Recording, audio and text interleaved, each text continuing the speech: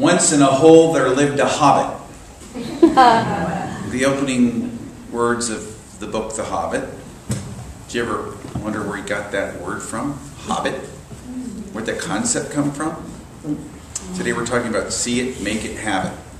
See it, make it, have it. How do you see something? Well, you just start where you are. And sometimes the most playful, childlike consciousness is the most powerful. Sometimes the most playful, childlike consciousness is the most creative. See it, make it, happen. J.R.R. Tolkien was a young scholar and he was a professor at Cambridge and he had to write a lot of uh, articles in journals and one of the things that he wrote about was uh, um, linguistics because he was a linguist, and he also talked about mythology because he was primarily a Norse linguist, and he talked about where did they get all these Norse gods and tales and all these things. So his article was about where does mythology come from? Where do these great stories come from? And he said they come from anywhere. Somebody just had an idea. They just saw it. They just came out with it. And he said, for instance, you could take a nonsense word, hobbit. And he said you could write a nonsense sentence. Once in a hole there lived a hobbit. And out of that could come a whole mythology. And he went and wrote the rest of the article. And he went home. He turned it in. And he thought, well, maybe I could do something with this. That's how it happened. But I want to create something in my life. I want something profound. I want it to be deep. hobbit. Once in a hole there lived a hobbit. Yeah, okay. Playful, playful, playful attitude. Just take it. The most playful creative acts are the ones that are the most creative. Is God at play in the universe? Is God the play of the universe? In the beginning, God. That's how Genesis starts. And, and I think we need to take a playful attitude with Genesis because it isn't. I got in trouble in a church once. My very first Sunday, I was I was going to give a talk and I, I was going to quote Genesis, and I thought I had a funny line to say. So I, I uh, that week, that state board of education had outlawed the teaching of evolution, which got overturned later, but uh, in the high schools. And so I thought I'd have some fun. I say, well, you know, I'm going to read from the book of Genesis, which, despite the Kansas State Board of Education, is not a science textbook.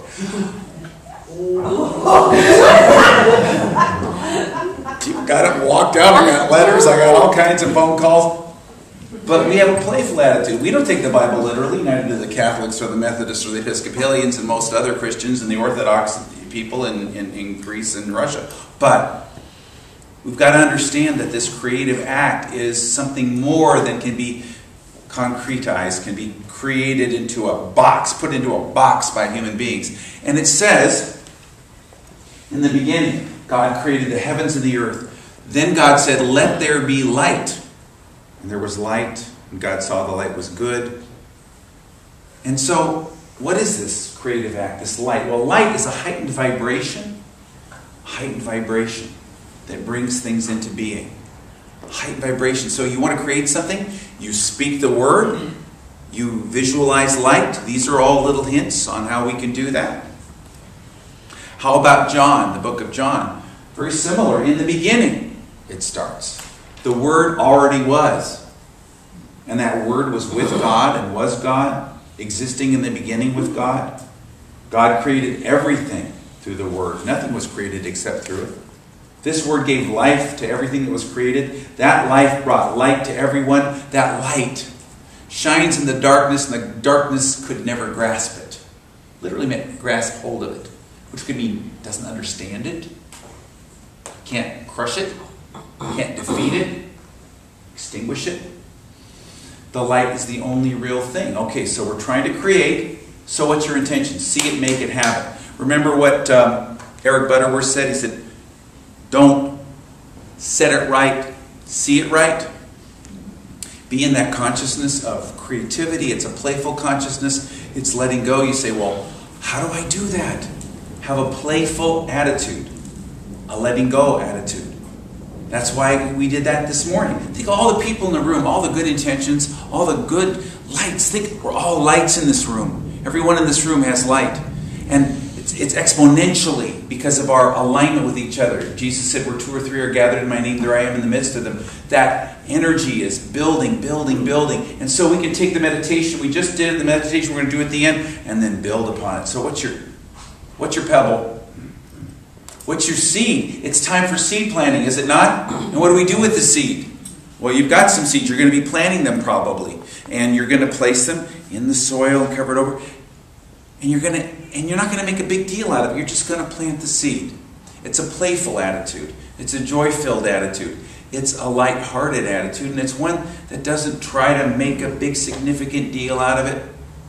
In the beginning was the Word. The Word, I think I've shared, is, is 2,500 years old. It means a fiery, invisible vapor that pervades the entire universe and governs all rational change and is capable of consciousness. That's what it meant. Wow! That's what it meant.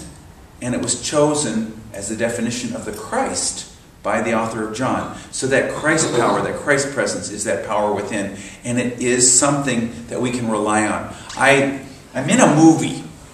I'm in a movie called What is New Thought? And about 25 people have been interviewed for the movie. We're going to show it in July. It just came out last year. I was interviewed for it. But one person interviewed for it had an incredible story. Her name is Della Reese. She's the person in Touched by an Angel, right? And she also has a church, you know. It's called the Up Church. It's a New Thought church, teaches what we believe in, in Los Angeles. This is her philosophy. And she said, this before she was a minister, in 1979, she was on the Johnny Carson show, and she had an embolism pop. She had a massive stroke. She said that the doctors told her later that she should have been dead before she hit the floor, and she wasn't. She said, from that, I surmised that maybe there was a purpose for me sticking around. The doctors told me why I wasn't going to get better, why I was going to die after I came to, after two days. And I thought, with all their education, with all their knowledge and all their background, they don't know what my future is. They have no say in it. I know that the Christ in me, the God power in me, is doing the healing work. And if I have a work to do, I will be healed. And she was, and she is totally fine she set an intention. And out of that, she became a minister.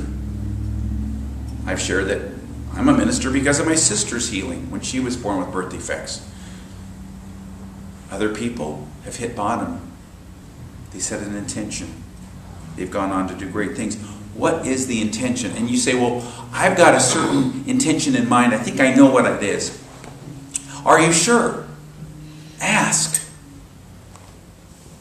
Remember years ago I was teaching a class on treasure mapping, which is visual prayer. We take pieces of uh, pictures of magazines of different things and we glue them on a poster board and we write things, affirmations and things like that. And, and I had my, my two or three of them, you know, and I was doing it along with the class. And I kept finding these pictures. I've shared this before of, a, of the Jaguar, the car, not the animal. The, 1986 it was, Jaguar. And they were so beautiful that year. They were works of art. They were works of sculpture, which they needed to be because they would break down and you would never be able to drive them. I didn't know that at the time, but I, I put them, this is when they were made by British Leyland. And so I, I, put them on the thing. I, I wasn't, I really didn't need a car. I didn't want a car. But they were so beautiful. I just kept finding them and I put it, and I put it away. Six months later, I'm working out. The guy next to me, I, what do you do for a living? I'm a minister. What do you do for a living? I'm a purveyor of rare British sports cars. I said, really? I said, well, you know, it's so funny because I uh, had, had thought about it, I didn't tell him about the treasure map, but uh, about a six-cylinder stick shift Jaguar. Well, what I haven't said is that they were illegal in the United States. They weren't imported because of smog control. They only sent the automatics, and I didn't want an automatic. And he, said, I've got one. I said, You can't have one. They're not legal. He says, Well, there's only one that exists in the entire United States. Now, I drew the one guy in the entire United States had had one. Out of a playful intention that wasn't even an intention, probably because I had a playful attitude. And I said, well, I can't drive it. It's not legal. He says, Oh, I know somebody who'll retrofit it. It'll be street legal. I said, Well, really? He says, Yeah, Sylvester Stallone owns it. He drives it around on his ranch. I said, Well, why doesn't he retrofit it? He said, Oh, he has enough cars. He just wants to get rid of this one. And I thought, Wow. And it was like $13,000. It was really reasonable. It was a beautiful car. And then I went to Consumer Reports and found out that it was the least reliable car in the world. now, if it works for something as garbagey as that, oh. I let go of it. Be careful for what you ask for. But, you know, think how much more powerful it would be if you let the goal be set through you. Let the goal be set through you. Be open. Be receptive. So many Beverly Hale Watson, and she was meditating, and one day she was in her late 60s. She was, uh, she just got that she needed to volunteer as a Sunday school teacher in her local Unity church. She didn't even attend that church, and uh, she, okay, so she went and she started doing that, and in doing so, she they didn't have any Sunday school material because there were many years there we just didn't have any in Unity. Diane Benzera had not started creating hers, so she said, "Well."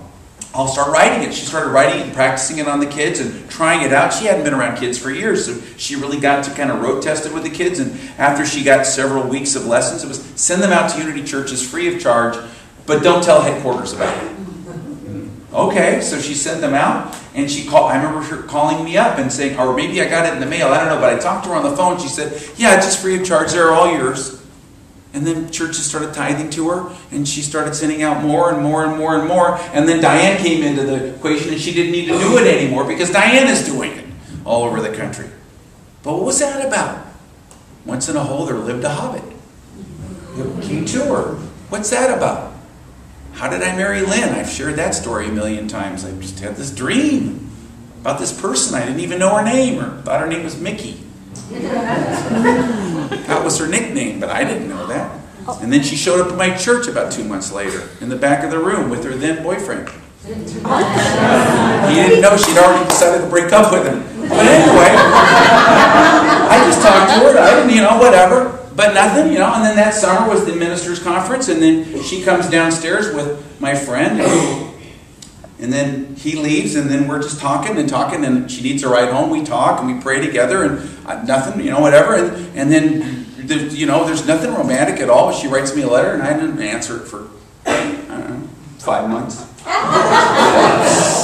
then I answer it, and then she writes me back, and then oh, I'm carrying around that letter, and I just, and it was nothing romantic. It was just a, a, a, a lot of spiritual stuff, and I, I just, and I finally, and I went into prayer. Why am I carrying around this letter with me? it's because you're going to marry her.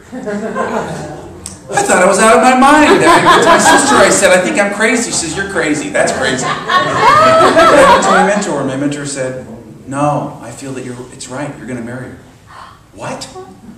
And it took me like two months, a month and a half before I even dared talk about anything personal.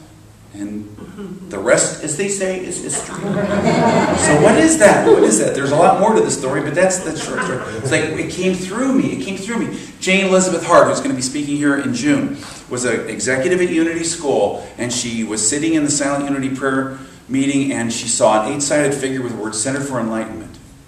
Again, it's see it. She didn't know what it meant. She didn't know what it meant. She started driving around looking for a place called the Center for Enlightenment. There wasn't any. And what came to her was, You're going to create it. Oh my goodness. Well, she had two months' savings. She was past retirement age, but she had a wonderful executive job at Unity. It was incredible. Oh. And she decided, she knew, she was guided to let it go. With two months' savings, her kids went crazy. Mom, you always do stuff like this. Yeah, I'm always taking care of it. Am I not? Yes, but still, you don't do this. I'm going to do it. Okay. I, we knew you would listen to us.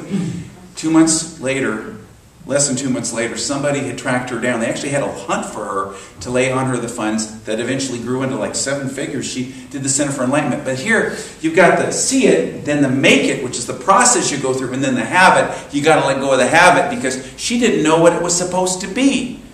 And she established it in, in one location, then another location, then another location, then another location, and now it's on the web.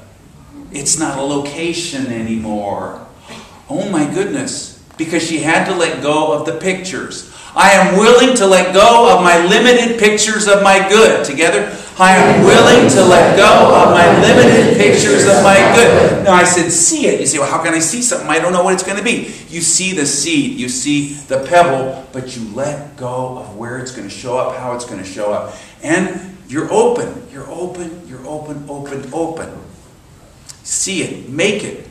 See it, make it, have it. Well, what's the make it part? Well, strangely enough, the making it includes letting go of anything that's blocking us.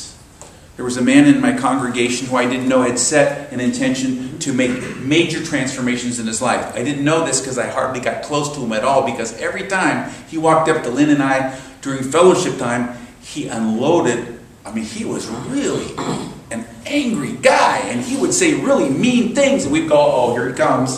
Honestly. And it wasn't connected to anything. Why is this guy so angry? And then one day he walked up to me. He had decided that he was going to let go and he was going to make a move in his life, and it came through him. He actually was listening to the talks, even though I had no idea. And he handed me the sheaf of papers, and I read it. It was about being molested as a child as, by a Boy Scout um, scoutmaster. And uh, he, he walked up to me the next week and said, Did you read it? I said, Yes. He says, The guy looked just like you. That's oh. what happened. He was letting go of it, and he did the forgiveness work. I shared with him the seven steps. He worked, and that was a church where Jane Elizabeth Hart was, and he was able to work with the seven steps and release it, and his life opened up and blossomed. We became really good friends. We'd go out to lunch. We had a great time. Never had any problems. What's this about? Moving past the seeming limitations in the block, the blocks. Deepak Chopra said something wonderful. I just read this last week. He said, if you think you have a problem, don't focus on the problem. Don't even look for a solution. Instead, focus on your expanded awareness.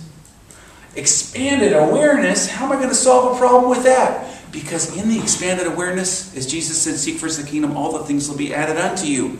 The needs will be fulfilled. Everything you need, but then you got to let go of the picture of what you thought it was going to be.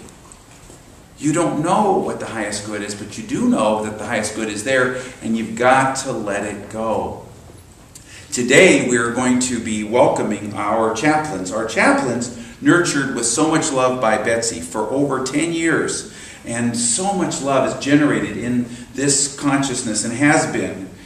These chaplains set an intention. And you know, and we're human beings. I'll bet some chaplain said, I'm going to be a chaplain so I can be spiritual. I can be spiritual and be more spiritual. And I can look a certain way. I mean, it's normal. But Betsy told them, the thing that's going to happen is that everything that you need to look at will come up for you. Everything will come up for you for you to let it go. Your stuff will come up and come right there for you to let it go. That's what do you think marriage is? oh, it's so I can have somebody in my life who tells me I'm wonderful and makes me comfortable all the time. you think I didn't think that? Oh, then what is it really? It is an opportunity to grow and to love which means letting go of your pictures of what things are supposed to look like and moving into something new and now and beyond the pairs of opposites of likes, dislikes, goods, bads, ups, downs, and moving into something that's unconditional. So, what am I talking about? I'm talking about setting an intention, I'm talking about making it happen, which not isn't forcing it to happen. Your prayers need to be moved from the level of more is more is more is more to a level of quality, moving from quantity to quality. If I say to you that you should paint, that you're going to paint, some of you in this room are going to think, oh, he means paint a house. And when you're painting a house, more is more. The more you paint, the more you've done. It's and you know what? There's some place for that. Others of you are going to go, oh, he's talking about painting a canvas. With a canvas, more isn't more. You got to know when to stop. You're painting, there's a quality. So your prayers are no longer about getting more, getting more, getting more, forcing, forcing, forcing. Will, personal will, ego prayers, mind prayers, head prayers, and moving to heart prayers, soul prayers, surrender prayers, where you know when to put down the brush. Remember in 1978 when I drove Norman Vincent Peale around Kansas City, I was his chauffeur. He told me this story about this guy who wandered into his office in a total agitation saying, I gotta talk to Norman, I gotta talk to Norman. And he just burst into his office, even though his receptionist was saying, Well, he's busy. He went in there and says, Norman, I need to talk to you. My life is, my problems have got problems. I got so much upset in my life. And I want you to tell me what I should do about it, but don't give me any of that God stuff or any of that religious stuff because I don't want to hear about it. I've had enough of it. And Peale said, Well, I don't know if I have anything else to offer. I mean, that's that's the where the solution's going to be found is and he said, Oh, you're just like all the other ones and stormed out. Peale said, I, I shot him an arrow prayer. An arrow prayer. He just shot him an arrow prayer. He never explained what that was. He just shot him an arrow prayer. An hour later, this guy shows up again. I gotta talk to Norman. I gotta talk to Norman. They, they, they try, you know, see, what is it? He says, What did you do to me? what did you do? He said, I don't know. I just said a prayer. I don't know. He says, Well, I was standing on the corner of Fifth Avenue and 42nd Street, and all of a sudden everybody started glowing. And I started feeling this feeling everybody was basically good inside. And I, I, I know my problems are all solved, but I, I, I have a sense of well being, and I feel like everything's going to be all What did you do to me? And he said, Well, I didn't do anything. It's that thing you didn't want to talk about. As uh, Deepak Chopra says, it's not focusing on the problem, trying to find the solution, it's expanding the awareness. And so this guy, every time, he never went to Peale's church, but anytime Peel had somebody that was right up against it and wasn't open to anything spiritual, he'd bring this guy in to talk to him. So in your life, where can you let it go? Where can you say the prayer? Let it go. Move from that literal prayer that's I'm going to get what I want and make more and more and more, but just let it go. Plop. It's a little pebble. Seed. Oh, let it come up. Your job's to fertilize, water, take care of it, but then let go of the fruits. Let it be what it is. So we've got our chaplains to, to bless, so we're going to go right into prayer now. And, and, and you've already done the pebble, you've already done the planting, so you don't have to do that again. Okay? But what we're going to do is bask in the awareness and add our divine energy and love. We're going to nurture that seed that we planted. We're going to feel the awareness of the rippling waters coming out in concentric circles. We're going to just feel the well being, the all is well that comes when we let something go. I loose it, I let it go, I release it, I free it. Once in a hole there lived a hobbit, I can have a playful attitude. I don't have to know how it's done. I can just be open. And God, where I haven't been aware of what my intention is, open my heart, my mind, my heart mind. Give me the awareness. And give me the willingness to go through whatever process is necessary of letting go, forgiving, and sticking with it. And help me to let go of the fruits, the results. And so it is. Amen.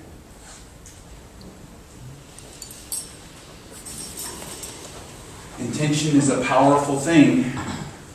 And we're going to be working on Tuesday night. The class has one more week of being open on intentions the next two Tuesday nights. So we're really going to go deep with this intention, this seed planting bit. And so come if you will. It's a great opportunity. Read about it in your bulletins.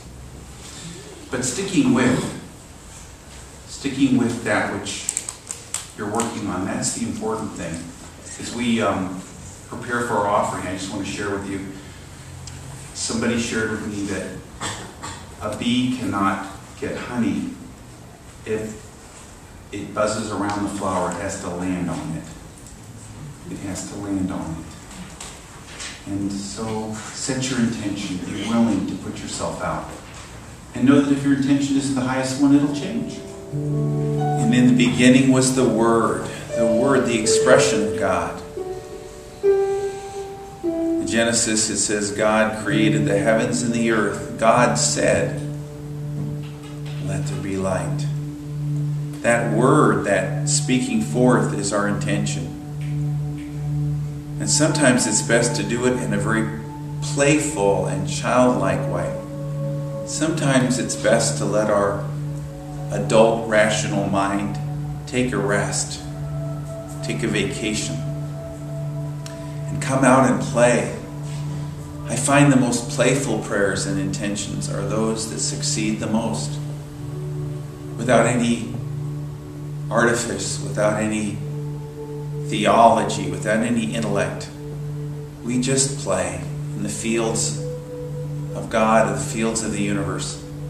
So imagine with me a visualization that is so simple. Just imagine there's a door that says intentions. And you open it and you walk in, and there's an elevator.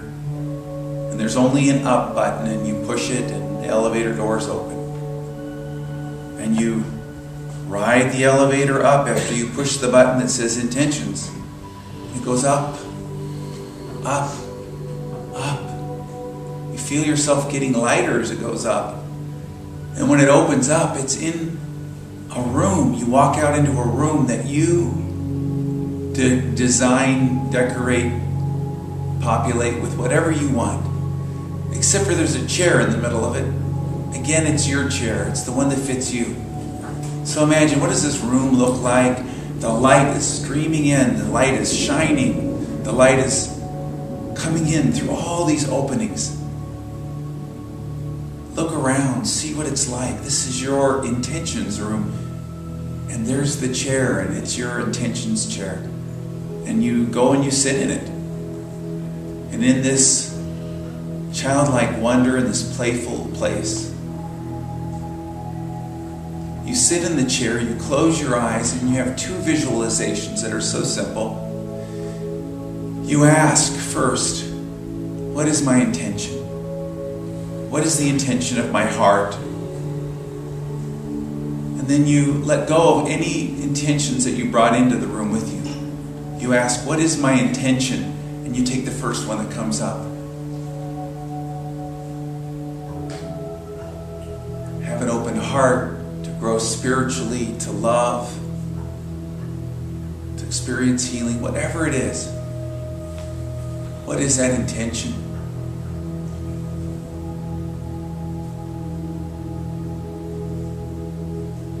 Take that first thing, and if you nothing comes, just make your intention to find out what your intention is. And now imagine as you're sitting in this chair with your eyes closed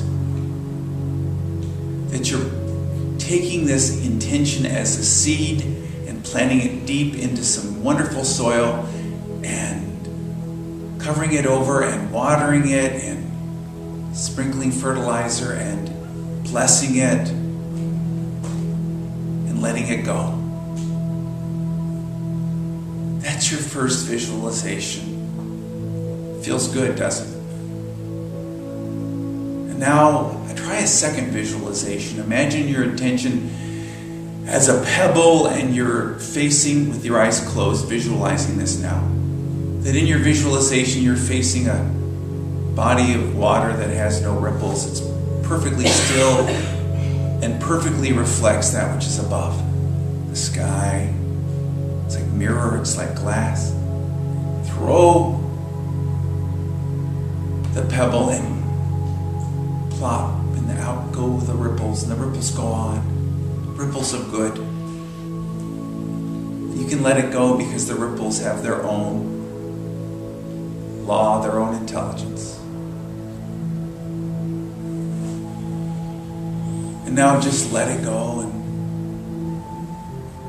dwell in the silence of possibility and how good it feels.